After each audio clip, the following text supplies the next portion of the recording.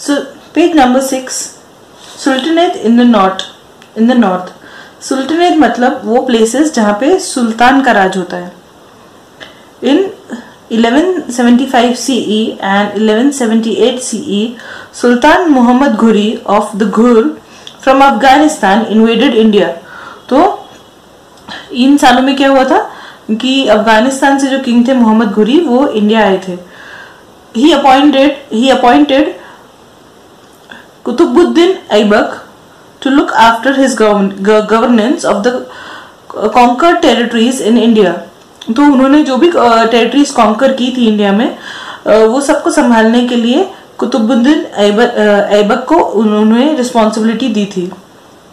Later after his death after the death of Mohammad Ghori in 1206 CE, Aibak became the rule uh, the began to rule India Indian territories under his rule independently. But क्या हुआ? uh, कि पहले तो ऐबक जो थे वो मोहम्मद घुरी के हिसाब से काम करते थे। उनके अंडर थे। उन्होंने जो रिस्पॉन्सिबिलिटी थी दी थी उसको संभालते थे। बट मोहम्मद घुरी के डेथ के बाद क्या हुआ? कि ऐबक जो थे वो इंडिपेंडेंटली इंडियन टेरिटरीज पे राज करने लगे। तो Aibak who was initially a slave became the ruler of Delhi he died in 1210 CE Ibrahim Lodi was the last sultan. He made uh, he made many enemies because of his peculiar temperament. तो इब्राहिम लोधी जो थे वो last सुल्तान थे जिन्होंने India पे राज किया था। But क्योंकि उनका टेम्परमेंट पिक्यूलियर टेम्परमेंट मतलब कि वो जल्दी से सबके साथ घुलते मिलते नहीं थे या उनको बहुत जल्दी गुस्सा आता था। या सबसे मिलजुल के नहीं रह पाते थे वो। तो उनके पर्टिकुलर टेम्परमेंट की वजह से, उनके इस बिहेवियर की वजह से उन्होंने अपने बहुत सारे दुश्मन बना लिए थे। तो Daulat Khan Lodi governor of Punjab invited Babur the ruler of Kabul to fight against Ibrahim Lodi. तो दौलत खान लोधी ने क्या किया था? जो गवर्नर थे पंजाब के उस वक्त, उन्होंने बाबर किंग जो थे, उनको बुलाया था काबुल से। इब्राहिम लोधी के अगेंस्ट फाइट करने के लिए।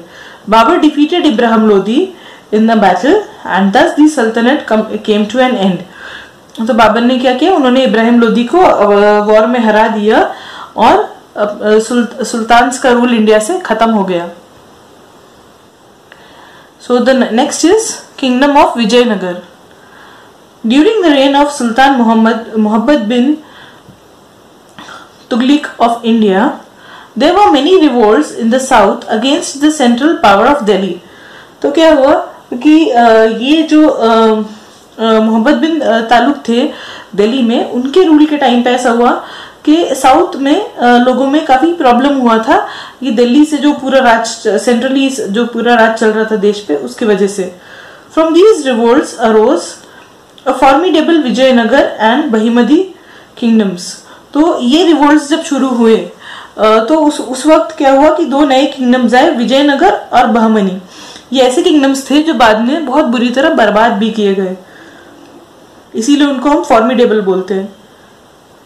The brothers Harihara and Bukka from south India were sardars in the service of Delhi Sultanate तो दो सरदार्स थे जो दिल्ली सल्तनत की सर्विस में थे बट साउथ इंडिया में थे, जिनका नाम था Harihara and Bukka taking advantage of this instability in south region During the reign of Muhammad bin uh,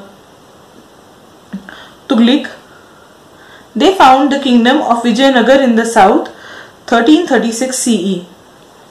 तो क्या हुआ कि ये जो सरदार थे इन्होंने जो साउथ में सिचुएशन चल रही थी कि लोग बहुत परेशान हो रहे थे वो चीज़ का उन्होंने फ़ायदा उठाने की कोशिश की। तो उन्होंने क्या किया? विजय विजयनगर फाउंड किया वो टाइम पे। Hampi in today's Karnataka was the capital of his kingdom तो अभी जो कर्नाटका में प्लेस है हम्पी वो उस वक्त वहाँ का कैपिटल था, उनके किंगडम का। Harihara was the first king of Vijayanagara तो ये जो दो सरदार थे, इनमें से हरिहर जो सरदार थे, वो जो, वो फ़र्स्ट किंग थे विजयनगर के।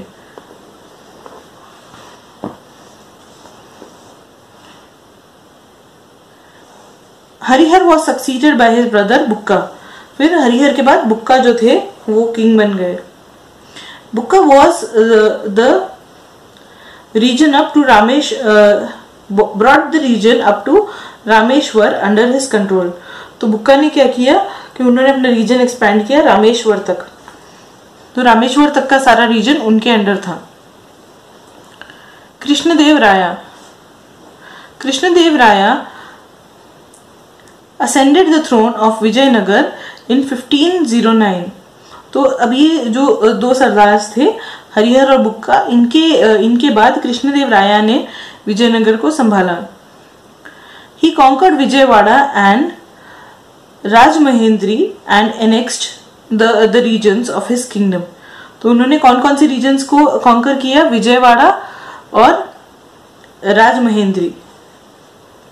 He defeated the combined forces of the arm, armies of the Sultan who had united under the leadership of uh, Bahmani Sultan Mahmood Shah तो महमूद शाह के अंदर जो uh, ये लोग थे उनके उनको उन्होंने डिफीट uh, कृष्णदेव राय ने डिफीट कर दिया। During Krishnadeva Raya's reign the kingdom of Vijay Vijayanagara extended from Cuttack in the east up to Goa in the west and from the Raichur Doab in the north up to the Indian Ocean in the south.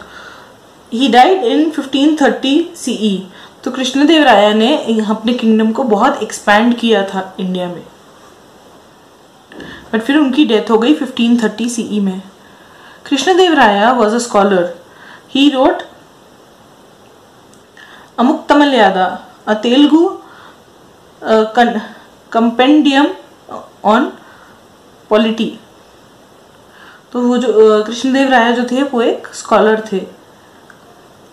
The Hazara Rama temple and the Vitthala temple were build in Vijayanagara during this reign तो उनके ही राज के time पे ऐसा हुआ था कि ये कुछ नए टेम्पल्स भी बनाए गए थे। The decline of Vijayanagara kingdom began after the death of Krishnadeva Raya in 1565 तो कृष्णदेव राय के डेथ के बाद ऐसा हुआ कि विजयनगर किंगडम की हालत खराब होने लगी। At Talikota in the present state of Karnataka there was a battle between Adil Shahi Nizam Shahi Qutb Shahi Barid Shahi on on one side and Vijayanagara on the other side तो क्या हुआ कि ये चार लोगों ने मिलके विजयनगर पे अटैक किया। Vijayanagara was defeated there after the dominance of Vijayanagara came to an end तो ये ये वाले वॉर में क्या हुआ कि क्योंकि चार लोगों ने मिलकर अटैक किया था तो विजयनगर हार गया। उसके बाद से विजयनगर का डोमिनेंस खत्म हो गया। अब हम देखेंगे द बहन Bahmani kingdom while Muhammad bin Tughlaq was still reigning मतलब उनका फिर भी राज चल रहा था some of his sardars in the Deccan rose in rebellion in rebellion against him तो क्या हुआ था कि उनके राज्य में उनके अंडर जो सरदार थे, वो उनके अगेंस्ट खड़े हो गए। The leader of these sardar Hasan Gangu defeated the army of the sultan in Delhi तो ये जो सरदार थे, इनका लीडर था, उनके लीडर थे हसन गंगू जिन्होंने सुल्तान की आर्मी को डिफीट किया दिल्ली में। Now will go to page number seven a new kingdom known as Bahmudi kingdom, Bahmani kingdom uh, came to uh, existence in 1347 CE. तो ये वाले uh, चीज़ के बाद क्या हुआ? जब सरदार ने सुल्तान को डिफीट किया उसके बाद एक नया किंगडम आया बहमनी किंगडम 1347 में. Hasan Gangu became the first sultan of Bahmani kingdom तो ये हसन गंगू जो थे ये सबसे पहले सुल्तान बने बहमनी किंगडम के. He made the city Gulbarga in Karnataka as his capital तो कर्नाटका में जो सिटी है गुलबर्गा, उसको उन्होंने अपना कैपिटल बनाया था।